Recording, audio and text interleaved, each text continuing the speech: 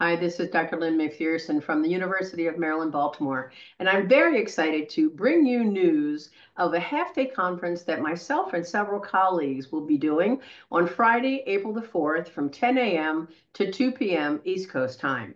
We have a variety of very exciting topics for you. So for example, Dr. Max Stevenson will be answering every question you ever, ever had about the amazing opioid buprenorphine. And I know you have 8 million questions. So he does a fabulous job.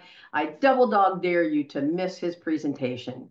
The next is Jennifer Byers and Dr. Ira Byock will be talking about the use of psychedelics in hospice and palliative care. So there's a party right there. Next, I'll be presenting data that came from an international Delphi consensus building process on opioid conversion calculations and the equivalencies.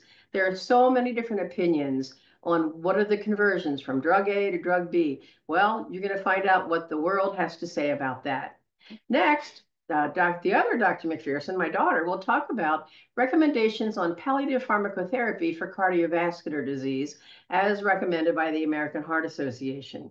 And last, two very good looking pharmacists, again, myself and my daughter, both palliative care pharmacists, are going to talk about what do we do in administering medications for a patient who can no longer swallow tablets or capsules.